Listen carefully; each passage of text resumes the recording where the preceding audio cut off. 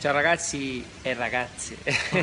no ragazzi in generale niente, so che magari avevate domandato a Michele qualche video, io vi voglio mandare a tutti i suoi amici, quelli che magari si sono interessati in me, mandargli un bacio grande, sono a Napoli e quindi mi ha fatto molto piacere passare qua, vi mando un bacione a tutti e avete una città bellissima,